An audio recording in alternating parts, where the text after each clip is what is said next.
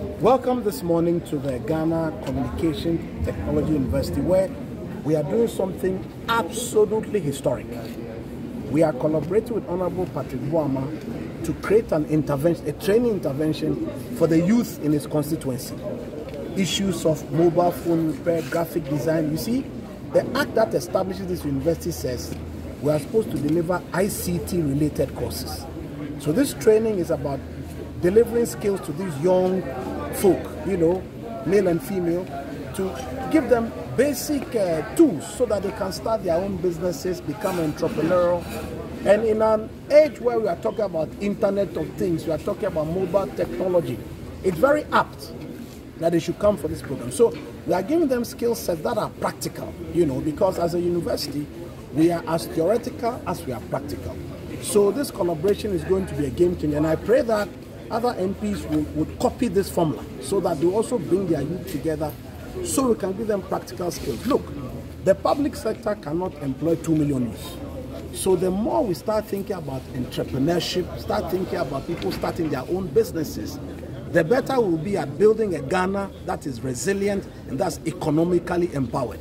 So that's why we are here today to start this training program. And the minister was here, he, he opened the program with me. And we are so delighted because we are contributing to empowering the youth and you know reducing unemployment and making them develop skills that can lead them to start their own businesses, and that's why we are here today. Inti MSO Select mobile phone repairs and assembly, graphic designing, web designing, photography and photo uh, video editing. And so that programs we need now. I had to say, three I can't be busy. Over here, Obi, over here, I'm saying Obi, you now.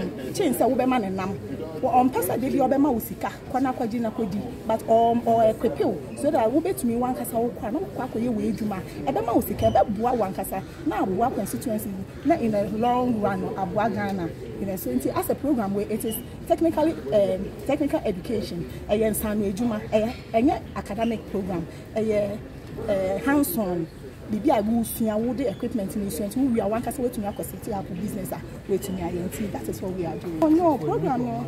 yes uh, mobile phone repair ɛyɛ four weeks duration the videography and the photograph editing. Ɛno no ɛyɛ five weeks. But web design ɛne yɛ friend saying graphic design ɛne yɛ three weeks. Nti it depends on the content course content and the um, it depends on the course content ɛne deɛ ɛhyehyɛ mu no ebia ne ne duration.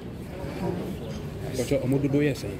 Ọmọ yẹ three hundred and fifty for the different categories uh, mobile phone ọmọ yẹ um, sixty five web design yẹ sixty five video editing ne wei na ọmọ yẹ one hundred and wei ɛna graphic design so so ɛyɛ one hundred and nti nana nahyɛ ne na abom a ɛyɛ three hundred and fifty participants youth of the constituency. And so all I can add is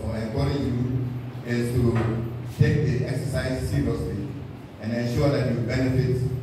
And once you benefit, the constituency benefits and Ghana benefits.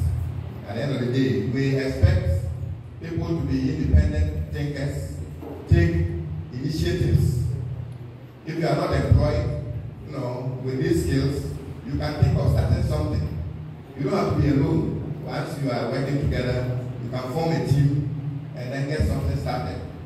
And so in a year's time from now, I'm sure when we are taking a kind of uh, assessment of where we have reached, we want to see at least majority, if not everyone, having something productive